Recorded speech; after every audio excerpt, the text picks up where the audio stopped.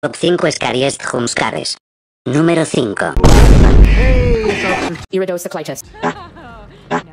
Actually, Nicholas Wilde, you are under arrest. For what? Legalize nuclear bomb. Industrial society and its future. Well, Mama, I'm a criminal. Instagram it shot up time.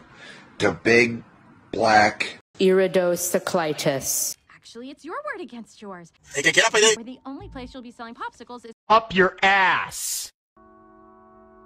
it's called a hustle, sweetheart. I'm at the-